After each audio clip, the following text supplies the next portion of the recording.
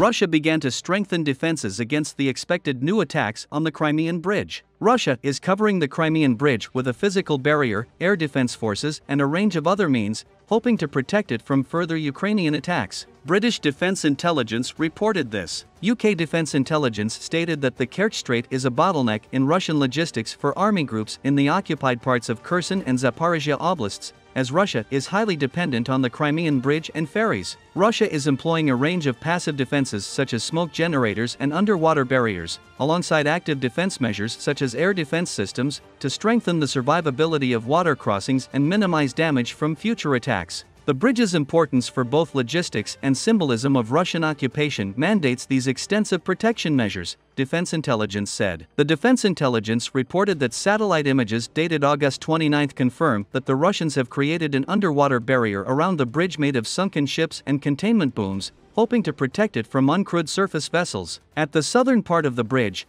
this includes several vessels 160 meters apart. These are located at the same place as the Ukrainian Sea Baby uncrewed surface vessels attacks on July 17, 2023, Defense Intelligence stated.